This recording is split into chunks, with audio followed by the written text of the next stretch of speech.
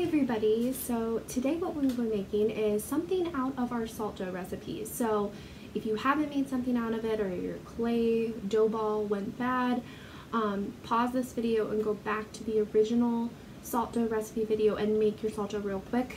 Um, I had to make another one. I did half the recipe this time um, because I made a little too much last time. So go back to that video and make it. Once you're done, come back here and I'll show you how to make something out of it. Alright, so what I'm going to make today is I'm going to make a vase for a plant. Um, I like to keep a lot of succulents in my house. Uh, makes it feel like we have the outdoors indoors all the time. Um, so in order to make a planter, the dough itself won't be able to contain water for very long until it turns into the dough again. So um, to get around that, what we are going to do is you are going to grab a glass container that nobody's using. You could use an old candle container. This was just, I think, a votive that I never did anything out of. Um, and this is what's going to happen. It's going to be on the inside of my dough. So it's going to form the shape for me and I won't have to do too much. Um, it is raining, so I might have to pause the video in a little bit. My window likes to leak, and that's right where my camera is sitting. So, um, until then, what you first will want to do is you're going to take your dough and you're going to make a pancake out of it. The easiest way to do that is take your dough and kind of slap it between your hands, kind of like you're going to make a pizza. I'm going to stretch it out a little bit by turning it and pinching with my fingers. Um, another way you can do that is to actually press it into your surface. Remember you're going to want parchment paper or cardboard or something underneath of it so it does not stick. Um, then once you have it flat, you don't want it super thin because it will tear. The next part is you're going to take your container. I'm going to press it down and then I'm going to stretch my dough around my container. Now I am finding that my dough is starting to get a little dry and not enough moisture to move it and starting to tear. What you can do for that is just have some water on hand.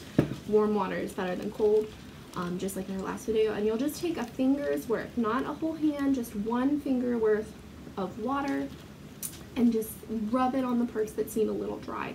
This water will now act like a glue and will stick the pieces of clay that are separating together So got those sides. So this is what it looks like so far. Again, I had like a um, cube-like container that has a hole for something to be put in. That will be my where my plants will go eventually. And then I am just folding up my dough and being very cautious because if I push too hard, I will make a hole out of here and it won't matter because there um, there's a container on the inside so no water will leak out. But for like aesthetic purposes or beauty purposes for this project, I want to be just very gentle because I wouldn't want a hole there. Alright, so if you're like me and you've gotten this far and if you're doing this, you don't have to do um, a vase. That's just my choice. You can use a cookie cutter and make something out of this dough and let it dry or you can make an animal, you can make a person, you can make almost anything out of clay. It's just awesome. Um, but if you get to this point, you are going to go around your clay and make sure that there's no holes or thin pieces. And the way you can do that is just spread clay from some thick pieces, use the water on areas that are dry make that glue, and spread the thickness around.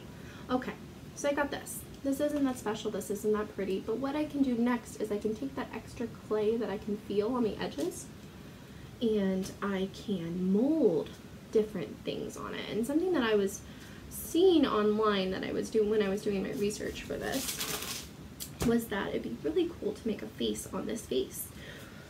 Um, and just give it a little bit more dimension. Now again, you don't have to do what I'm doing. You don't have to do a face at all. Um, I see people like forming it in just designs by adding nodules, nodules and shapes or line on their vase. Um, some people turned it into an animal. I saw someone who put like the fluffy parts of a sheep all around it and then I put a sheep's face into the edge. Taking some places that are thick away from my face. Another method that you can do before you even push it onto your vase um, is you could have like taken part away of like the parts that you needed away from it originally so you wouldn't have to peel away like I am right now. That may have been probably the smarter decision, but we're already here. We're going to keep going with it. Now what I'm doing here is I'm sticking it down on the flat surface and making the sides not bumpy anymore. So as I put it on a flat surface, it flattens everything, kind of like you would do with Play-Doh.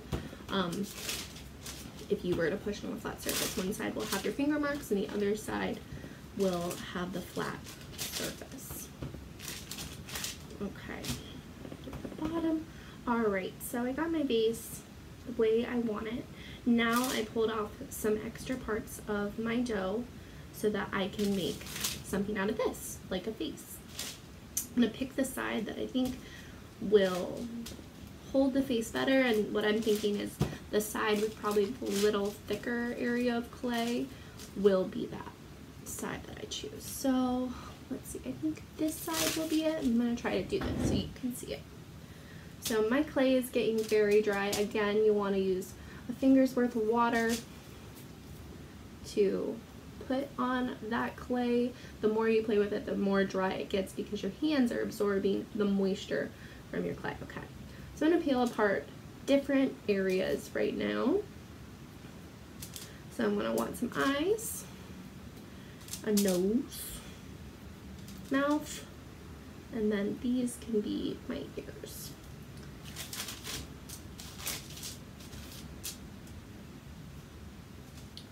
Alright, so if you want to form an eye, or let's say you were trying to form a head or something that's round, you're just going to want to make a ball in between the two palms of your hands. It'll look like that.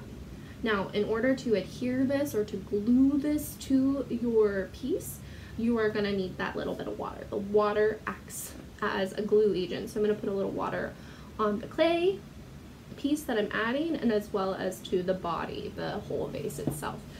All right, so I'm going to stick it there. It might be best if I work this way so none of my pieces fall off. This gravity right now will push these down. And what I'm going to do is I'm going to take my finger and I'm going to like smear the edges of my dough into the base, into the vase itself. I'm going to flatten that eyeball.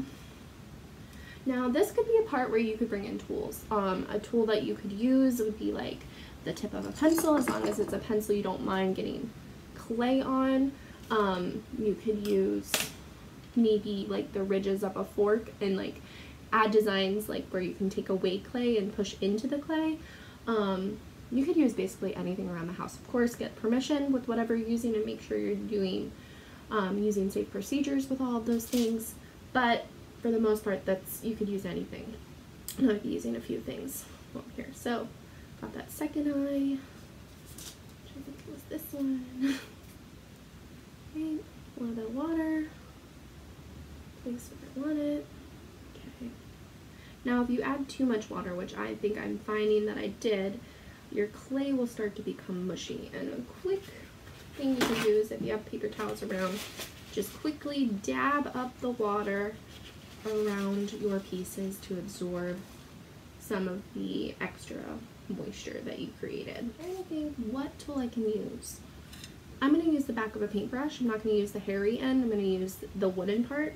And this kind of gets, since it's a little smaller than my fingers, it'll get into the crevices that I can't get into with my fingers. And I'm just pushing down those areas that I want more flushed to or pressed towards the body of the vase.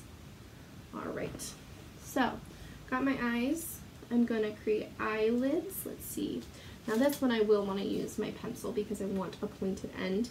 Um, if you get like pencil marks into your clay, that's okay because if you decide to paint this afterwards, it will just cover it up. So what I am doing is I'm taking my pencil and I'm kind of making the eyes like half open and I'm creating a lid. Now granted, I have never made one of these, so you're bearing with me as I experiment with my creation. But the cool thing about this dough is that it's easy to make over and over again if you have salt water and flour. And that's why this time I made a smaller batch so I didn't waste as much. Okay, and the next part is I'm going to add the pupil. So the way I can do that, if I take another piece of clay, very small, I cut this actually in half, another round ball,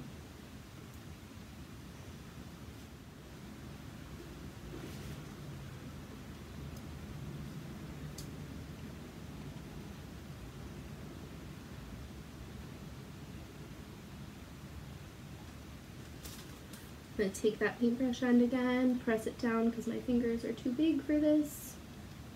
Got little fingers. You're in a good place. If you don't, grab a tool. You could use the edge of a spoon, a fork, a butter knife. The butter knife would give a nice texture because it has those like little bumps. But of course, if you're going to use a knife, definitely get permission from a parent and make sure that it is only a butter knife. No gonna be like a really goofy character. Let's see if the light can get it. There we go. So if you can see, I got my eyelids, the pupil of the eye, and the whole eye itself. The next part will be the nose. We want a kind of a decent sized piece of clay here.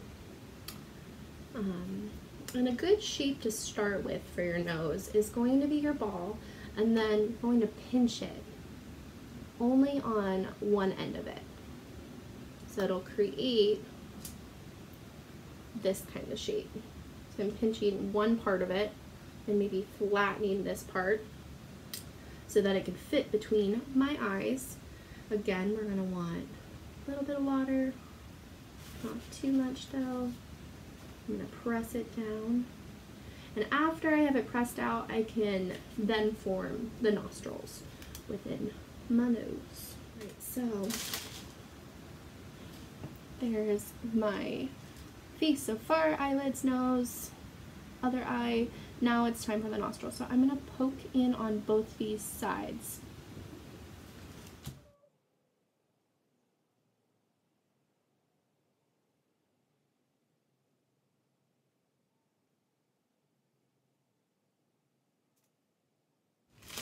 Alrighty, so this is what I got so far.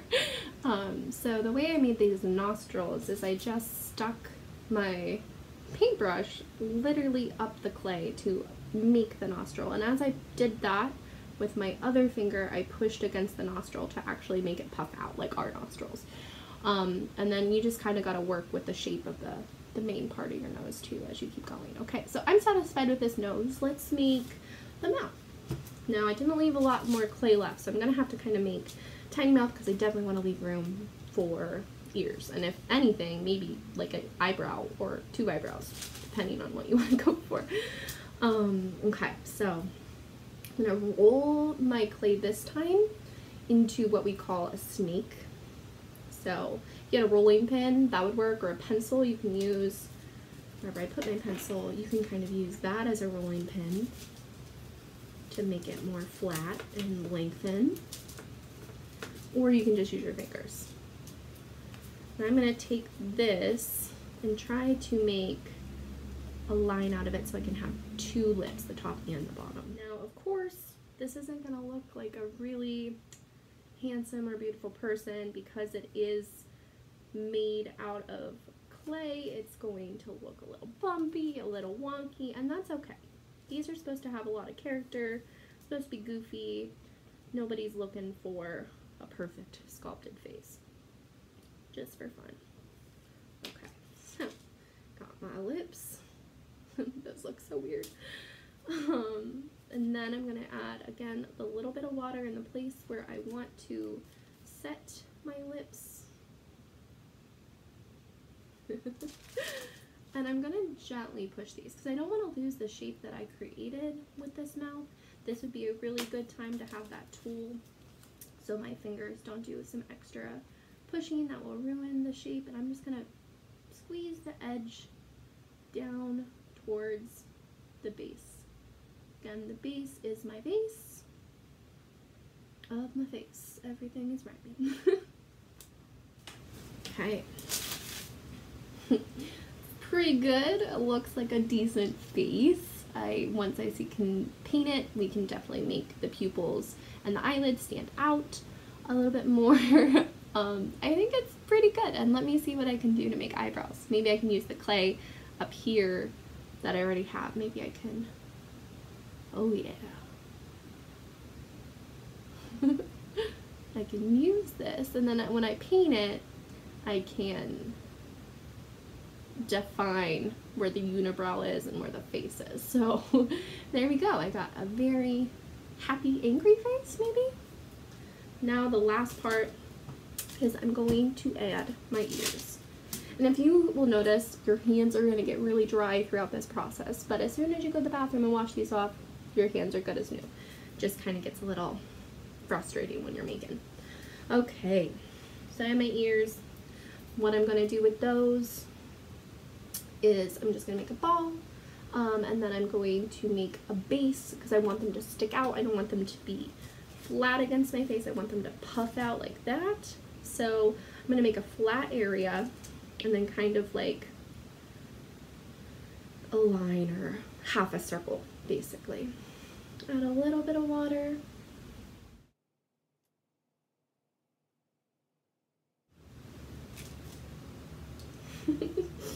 He's so silly looking. turned out better than I thought. Got one ear done. Look at that beautiful ear. Now I'm gonna get the extra done. It's always, or the other side done. It's always good to take a look at it in progress versus like finishing it all and then seeing at the end, just in case there's anything you wanted to go back and um, fix before you move forward. Because we want it to be somewhat symmetrical, meaning equal on both sides. All right, last ear. So again, make a ball, I'm going to flatten one side and pinch out the other. So flatten, pinch out the other, kind of get like a kidney bean shape actually. I'm gonna add a little bit of water. Look at where my other ear is located. Try to make it at the same place. Now I can't lay this on its side like I did the last time because I will squish the other ear.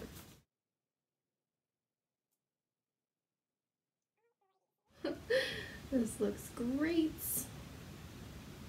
Alright, so in the process I've kind of wonked my face a little bit more, like some of its chin is coming up, but I kind of like it. It kind of goes with the theme of it being kind of crazy and kind of wonky. So that is my face vase. Um, if you wanted, again, if this is what you're creating, awesome. I'd love to see what you make too. Um, if you choose something different, that's completely fine. I'm just experimenting. Um, remember when you want this to dry, it's going to take a while, um, especially since this has multiple sides to dry. I would give it a week and every day you're going to want to flip it. So tonight I'm going to let it sit on the top of the vase so all areas can dry. But if you had something that was flat, like let's say you used a cookie cutter, um, you're going to want to let it dry on one side, the top side is getting dry, and then the next day flip it so that the bottom that was against the table can dry too. So I'd give it about a week. Alrighty, so there's my face. Thank you for joining me today and I hope that you have fun creating whatever you choose. Alright, have a good day. Bye.